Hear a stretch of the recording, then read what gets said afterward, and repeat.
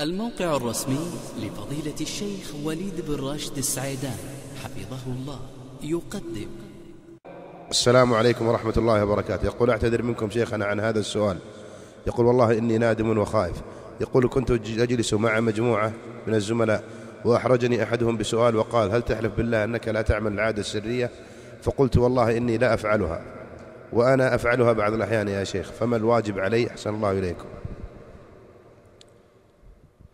الحمد لله رب العالمين وبعد. أولا سؤال هذا الإنسان الذي استحلفك أنك لا تفعل هذا هذا الأمر هذا سؤال إنسان قليل أدب ويحتاج إلى تعزير يربيه وأمثاله حتى لا يعاود استكشاف أسرار الناس ولا أن يتدخل ويدس أنفه فيما لا شأن له به. فإن الأصل في المسلم السلامة والأصل إحسان الظن بالناس. والأصل أن ما يستتر به المسلم فيما بينه وبين ربه لا يجوز لأحد أن يتقحم عليه ستر الله عليه. وأين هذا الرجل الجاهل السفيه من قول النبي صلى الله عليه وسلم من ستر مسلما ستره الله في الدنيا والآخرة؟ فلماذا يستفصلك أو يستحلفك هل تفعل هذا أو لا؟ فهذا حقه أن يعزر وأن يربى وأن يؤدب. فلا يجوز لأحد أن يسأل الناس ماذا يفعلونه في خلواتهم وفي, وفي بواطن بيوتهم وغرفهم فإن هذا من التنطع والسؤال الذي لا يجوز وقد نهينا عن ذلك. هذا بالنسبة له فلا بد من زجره ولا بد من تأديبه ولا بد من تعزيره التعزير الذي يردع هؤلاء وأمثالهم عن التدخل في حياة الناس الخاصة.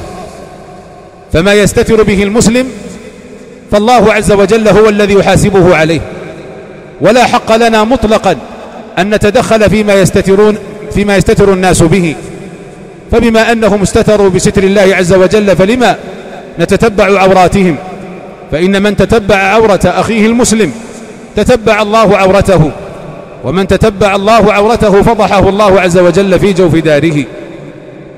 وأما بالنسبة لك فلا أرى أن عليك كفارة يمين لأن يمينك هذه التي التي حلفت عليها إنما هي يمين على أمر مضى وأنت تعلم كذب نفسك فيه.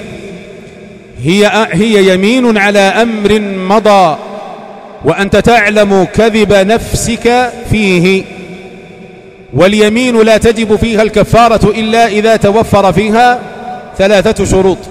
أن يحلف بالله أن, أن, أن يحلف الإنسان بالله عز وجل وأن تكون على أمر مستقبلي ممكن الوقوع. فمتى ما توفرت هذه الشروط الثلاثة دخلت الكفارة إذا حنث الإنسان في مقتضى يمينه. وأما يمينك هذه فليست هي اليمين التي تدخلها الكفارة لأنها على أمر مضى. فأنت حلفت على أمر قد مضى منك. وأنت تعلم كذب نفسك فيه.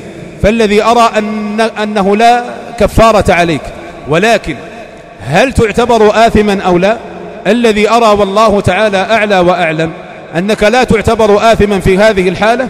لأنك إنما فزعت إليها لتتخلص من هذا الموقف الذي أحرجك فيه هذا الشخص التافه. فأنت تريد أن تتخلص من هذا السؤال لا سيما إذا وقع أمام العامة. فإن العامة لو رأوك تلكلكت أو تأخرت أو تقاعست عن المبادرة بالجواب فإن هذا سيكون فضيحة لك. لا سيما إذا كان عامة جلسائك ينتحلون صفة قلة الأدب كصفة هذا السائل الذي سألك عن هذا السؤال. فلا أرى والله أعلم أن عليك كفارة لأن يمينك هذه ليست من اليمين التي تدخلها الكفارة.